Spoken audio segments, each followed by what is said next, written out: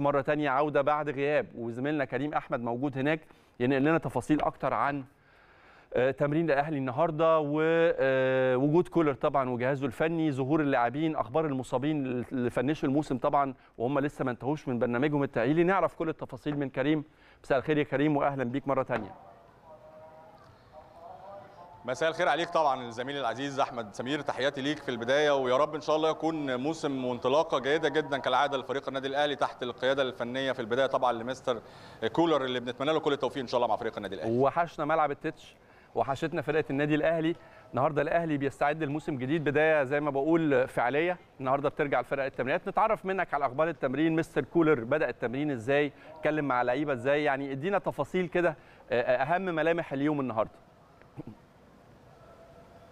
يعني هقدر أقول لك زميلي أحمد في البداية بعد الاجتماع الخاص طبعا بالجهاز الفني بالكامل مع الكابتن محمود الخطيب وتوجه مباشرة الجهاز الفني إلى ملعب مختار التتش.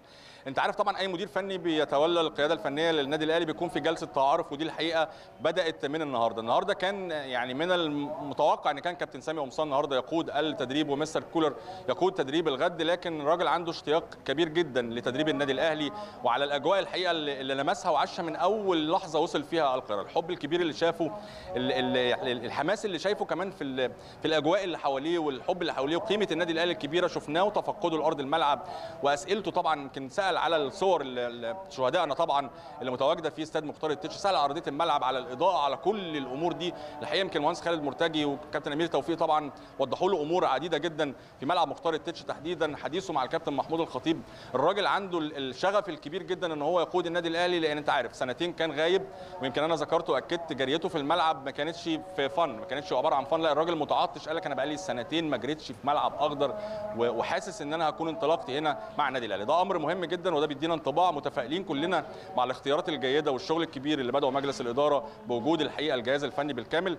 كلمك النهارده على التدريب في البداية بعد جلسة التعارف على طول مباشرة مخطط الأحمال تيتسيان اندويا طبعا دوره مهم جدا وبنتمنى له كل التوفيق لأن عنده شغل كبير جدا خلال الموسم لأن مشاركاتنا كبيرة التلاحم هنشوفه والمباريات هنشوفها لكن عليه شغل كبير جدا مع الجهاز الفني. هو يمكن النهارده بدأ في توزيع طبعا بعض الأمور الخاصة بالاحمال البدنية. النهارده ما نقدرش نقول في رفع حمل بدني لكن النهارده في شكل عام بالنسبة للبرنامج التدريبي. الراجل يمكن خصص فقرة 20 دقيقة للتأهيل ويمكن حاجات بسيطة جدا من غير الكورة. بعديها مباشرة أيضا كمان الشغل المتعارف على المدير الفني إن هو بيعمل تقسيمة بدون توظيف وبدون يعني بحذر اللي عايز يلعب كورة يلعب. الراجل عايز يتفرج بشكل عام على اللاعبين على كل لاعب في في ظل وقت قليل جدا النهارده بالنسبة للتدريب فده أمر مهم جدا. انطباع الراجل مع اللاعبين اللاعبين استقبلته بشكل مميز جدا. الجو العام اللي شافه في النادي الأهلي بيديله مردود كبير ودفعة كبيرة جدا إن إن شاء الله الموسم يكون جيد والقادم يكون أفضل تحت القيادة الفنية لمستر كور الأمور طيبة جدا في هذه اللحظات كمان يمكن التقسيمة شغالة في ملعب مختار التتش زي ما قلت لك الراجل بيحاول يبص بشكل عام نظرة عامة على إن يكون بقى خلال الأيام القادمة تدريبات متتالية ممكن نشوف صباحي ومسائي بعد طبعا التحضير لمعسكر فريق النادي الأهلي اللي بيتم على قدم وساق لكن كل الأمور الحمد لله طيبة جدا. كمان الحقيقة يعني رغم السعادة وأعضاء النادي الأهلي اللي استقبلت مستر كولر عايز أقول لك ميشيل يانكون يعني كان كان في قمة السعادة. أعضاء النادي الأهلي كلها النهارده راحت لميشيل يانكون واحد من مدربين الحراس المميزين جدا محبوب عارف قيمة النادي الأهلي بشكل كبير جدا. فيا رب الكوكبة اللي متواجدة مع الجهاز الفني المميز جدا إن شاء الله يكون موسم جيد كريم نتكلم شوية معاك عن اللعيبة و... وأنا شايف الحقيقة يمكن أنا يعني مش عارف طبعا الكادر ما شفتش تمرين كامل دي لقطات سريعة جدا بس أنا ما شفتش ديانج ما شفتش بيرسي تاو ما شفتش عمار عايز أسأل عليهم اعرف موقفهم إيه. شفت طبعا كهربا شفت مغربي شفت متولي عامل new look فاتكلمنا كده اللعيبة حتى اللي كانت بعيدة وكانت مصابة في نهاية الموسم وكان كانت بتنفذ برنامج تأهيلي مين رجع مين لسه عليه شوية. نطمن منك على squad الأهلي نفسه. يعني هقدر أقول لك النهارده في بعض اللاعبين في الجيم يعني في لسه بعض اللعيبه بتاخد فقرات في الجيم تبدا كمان تاخد فقرات تدريبية في أرض الملعب. أك... النهارده أكرم كان متواجد في التدريبات.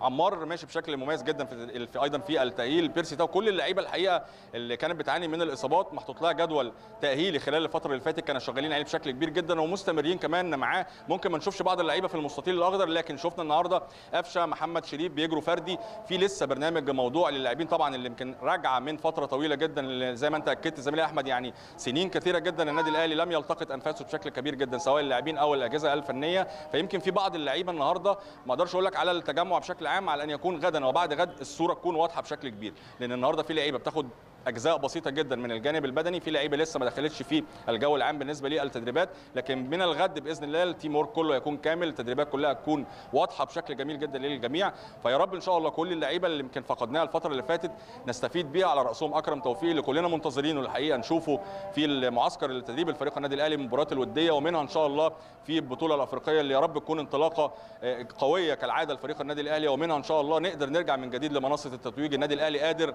بلاعيبته بال squad المتواجد بالمدير الفني بالمناخ الطيب بالاستقرار اللي بيحاول مجلس إدارة النادي الأهلي يوفره من كل الجوانب.